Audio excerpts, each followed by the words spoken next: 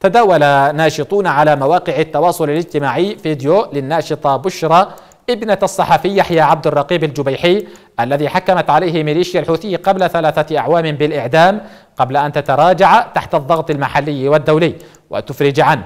وما تزال الميليشيا تختطف حمزة الجبيحي شقيق الناشطة وتستخدمه كرهينة في سجونها منذ تلك الفترة.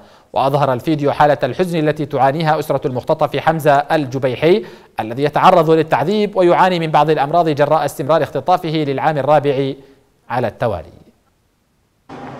شقيقك حمزة المعتقل في آه، سجون الميليشيات الحوثية هل يعاني من مشاكل صحية؟ طبعا. هو شقيقي يستخدم النظارة منذ الصغر ولكن لم يسمح له باستخدام النظارة في المعتقل آه، وهذا سبب له تمزق في شبكية العين.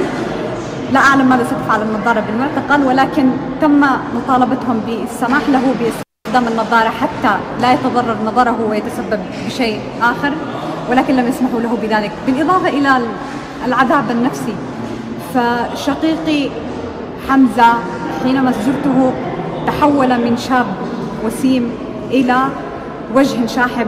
آه، ظهرت عليه ملامح الشيخوخة. ظهرت عليه ملامح الشيخوخة برغم أنه في عمر الزهور.